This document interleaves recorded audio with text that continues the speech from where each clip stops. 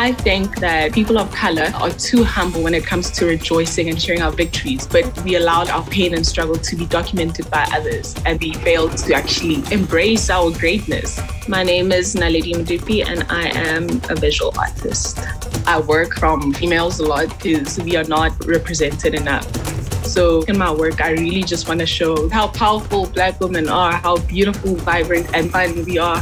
I think it's about time we actually start showing people that we are beyond great and we can achieve so much. But I think it's very important to take the narrative beyond that to inspire others, showing people that you can achieve more than what you've been told you can. It's very important to do that for the younger generation, for us to not be limited or restricted by others, because we are amazing.